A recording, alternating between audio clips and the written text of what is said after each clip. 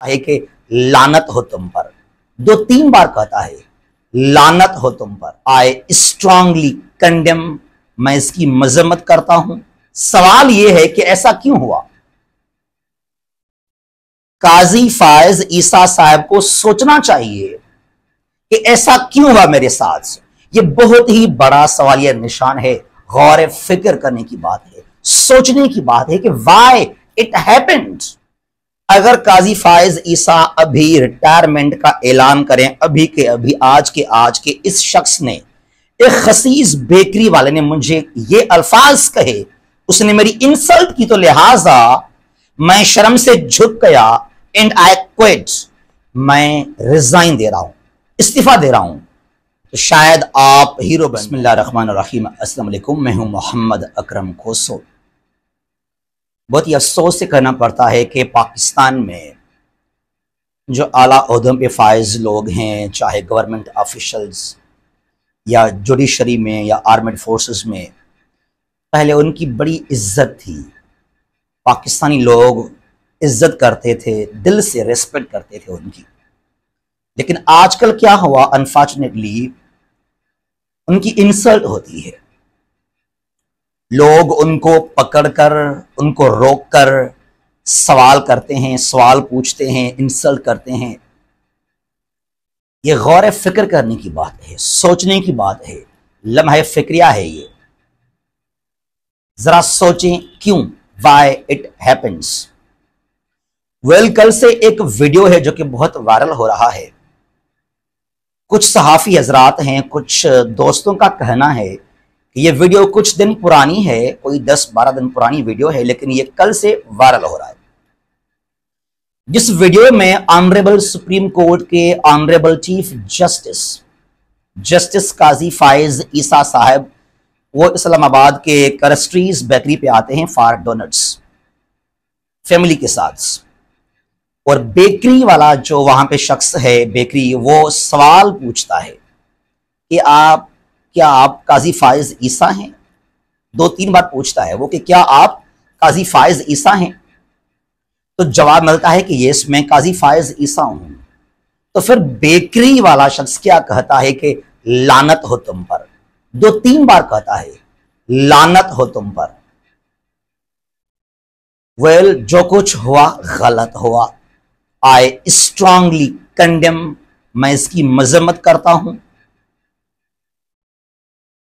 पाकिस्तान के honourable supreme court का honourable chief justice है, रिटायर नहीं है वो, हाजिर सर्विस है।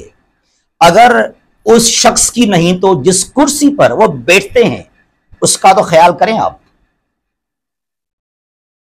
आइन में लिखा है, फ्रीडम ऑफ़ स्पीच, इजहार की आज़ादी। आप सवाल कर सकते हैं, आप पूछ सकते हैं, लेकिन उसके भी कुछ लिमिट्स हैं, कुछ बाउंड्रीज हैं। वो आपको क्रॉस नहीं करने चाहिए। तो जो कुछ हुआ, गलत हुआ, नहीं होना चाहिए था। बिल्कुल नहीं होना चाहिए था ये। लेकिन लेकिन सवाल यह है कि ऐसा क्यों हुआ? काजी फायज ईसा साहब को सोचना चाहिए कि ऐसा क्यों हुआ मेरे साथ ये बहुत ही बड़ा सवाल यह निशान है गौर फ़िक्र करने की बात है। सोचने की बात है कि वाई इट हैपेंड जो पहले इस चीज़ की कभी तस्वर नहीं थी, पहले तो कभी हमने सोचा भी नहीं था कि ऑनरेबल सुप्रीम कोर्ट के चीफ जस्टिस को आप इस तरह उसको ये जो है, सलूक करेंगे, इस तरह बात करेंगे आप नो नेवर आखिर ये ऐसा क्यों हुआ? गवर्नमेंट को जुडिशरी को खुद काजी फायज ईसा को सोचना चाहिए कि लोगों के पास ये नफरत क्यों है, ये गुस्सा आखिर क्यों है? इस पर सोचना चाहिए। और मैंने सुना है कि उस बेकरी वाले शख्स को, मैंने सुना है, इस नॉट कंफर्म्ड लेकिन मैंने सुना है कि उस शख्स को काजी फायज ईसा ने उठाकर टॉर्चर करवाया। अगर यह बात सही है इफ़ इट इज़ राइट तो काजी फायज ईसा साहब ने भी खुद गलत किया। सुप्रीम कोर्ट के चीफ जस्टिस हैं, द कस्टोडियन ऑफ़ लॉ, अलम बरदार हैं कानून के आइन के लॉ के, पाकिस्तान के आइन के आर्टिकल टेन ए में वाज लिखा है, राइट ऑफ़ फेयर ट्रायल। अगर मैंने कुछ गलत किया, अगर किसी ने मुझसे बदतमीजी की, कोई मेरा दुश्मन भी है ना उसको इस तरह उठाकर टार्चर करना गैर आईनी अमल है। इलीगल है। अनलाफुल है ये इट इज़ इलीगल उसको कोर्ट में बुलाएँ। उसका ट्रायल करें आप। जो सजा मिले, उसको सजा आप दें।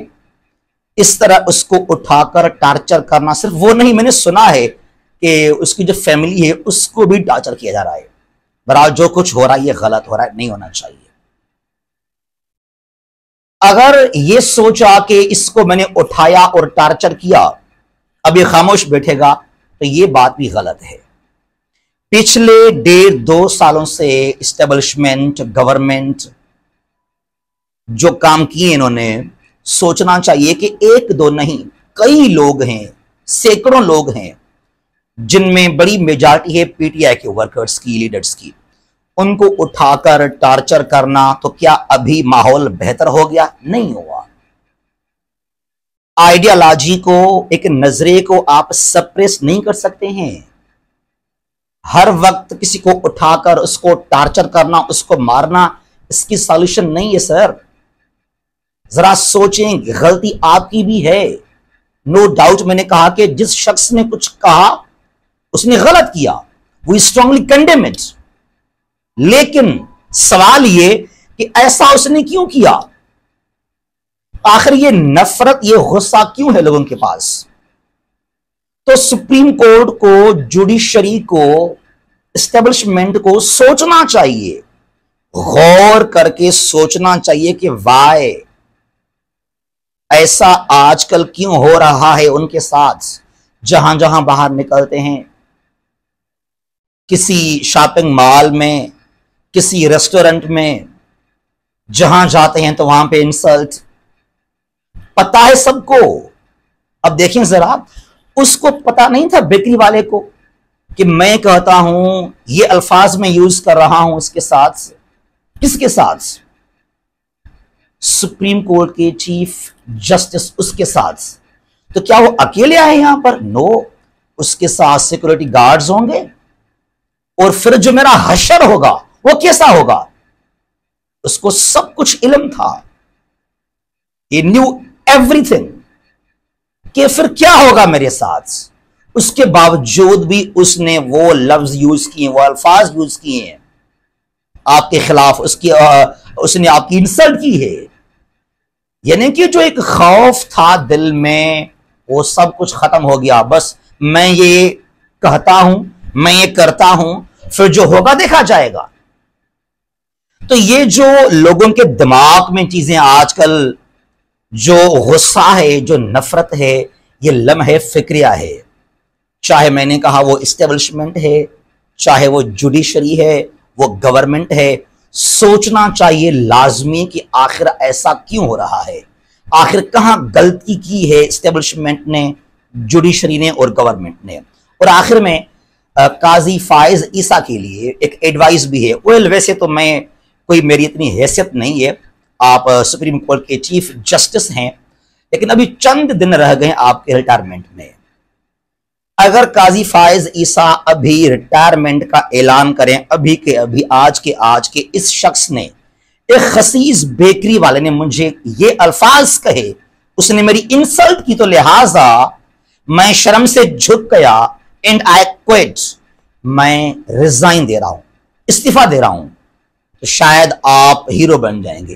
तारीख तारीख में लिखा जाएगा कि पाकिस्तान का एक बहादुर मर्द मुजाहिद, चीफ जस्टिस, उसको एक बेकरी वाले ने यह कहा कि आप पर लानत हो तो फिर उसने रिजाइन दे दिया।